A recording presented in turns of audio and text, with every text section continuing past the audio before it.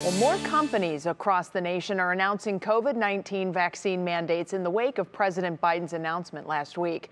Marissa Saenz reports on why some Ohioans are up in arms about it and why the governor says this is sending us in the wrong direction.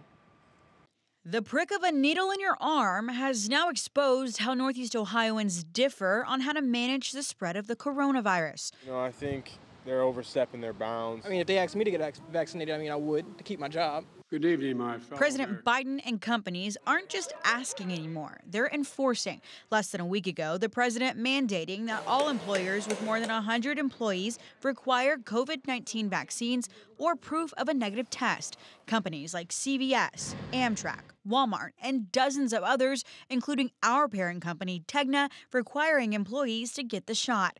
You know, this is life saving. This is life saving, and I support it. By you mandating it, it's me losing my right in general. Been a lot of discussion. Governor going Mike on. DeWine doubling down today. He doesn't back the president's plan. It just takes us down this political pathway uh, that everybody kind of gets their suit, their armor up. acknowledging the slow rise in Ohioans getting vaccinated. That's not where we want to be, but it's double what it was a month ago. We ought to try to really focus on, stay focused on the science. Regardless of approach, the decision split. Both sides of the aisle firm in their beliefs. I think it should be up to each company to make a decision, their own decision, whether or not it's right for their company. working together and being cooperative, I think, is the best thing we can do.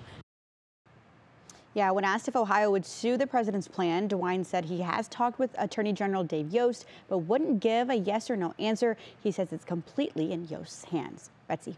All right, something to keep an eye on. Thanks so much, Marissa.